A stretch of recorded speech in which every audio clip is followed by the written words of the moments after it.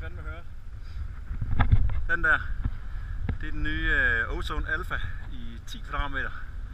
Og øh, lige nu, der blæser det vel 8 sekundmeter her.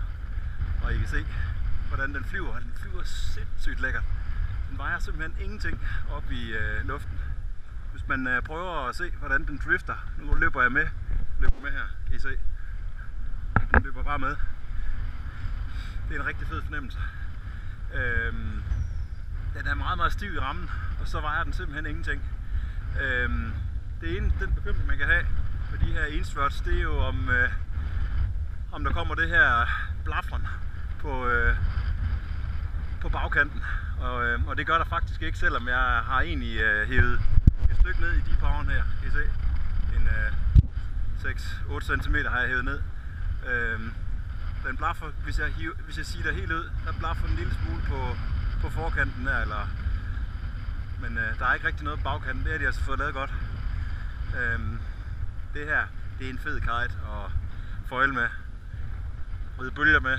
Jeg har den i øh, 6, 8, 10 og 12, og den får min absolut anbefaling.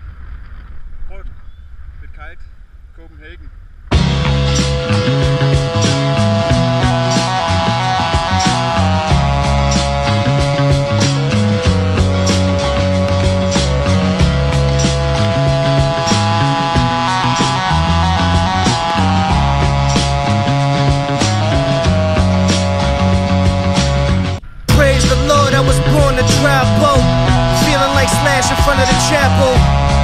Lean back with the less pull.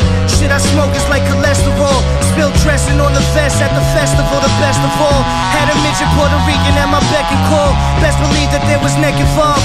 Fuck around and almost wrecked the sub. Uh, we took acid for 10 days straight up in the mountains. Started running with the stallions. Playing frisbee in the West Indies. Did the tango with my kidneys eyes open. Now I know just what my kids need. Rockin' very loose pants. Yeah. Rockin' very loose pants. Before I die, take a hot shower.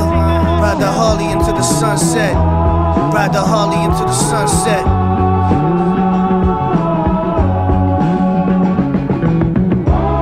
Ride the Harley into the sunset. Ride the Harley into the sunset.